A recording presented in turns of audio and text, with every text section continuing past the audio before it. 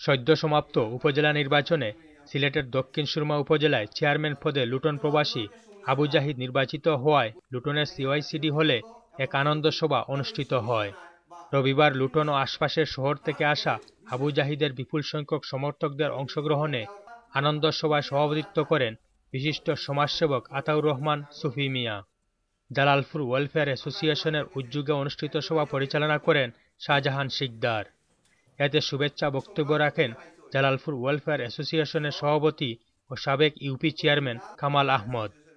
বক্তব্য রাখেন সাবেক councillor M A Rakib, Selim Ahmad, Mustafizur Rahman Chowdhury Ruhul, Saleh Ahmad, Manik মিয়া, আজিজ চৌধুরী ওয়েস আহমদ, দেলওয়ার হোসেন মোস্তফা, লুকমান আহমদ সহ অন্যান্যরা।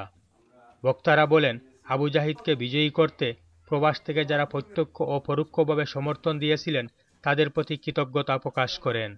তারা মনে করেন, প্রবাসী চেয়ারম্যান হিসাবে আবু জাহিদ প্রবাসীদের সুখ দুঃখ সহজেই বুঝতে পারবেন। আবু জাহিদ দক্ষিণ সুরমার সর্বস্তরের মানুষদের নিয়ে আগামী পাঁচ বছর যাতে উপজেলার উন্নয়ন করতে পারেন তাদের প্রবাসীদের সহযোগিতা কামনা করেন বক্তারা। Mohammad Taj, channel S television news, Luton.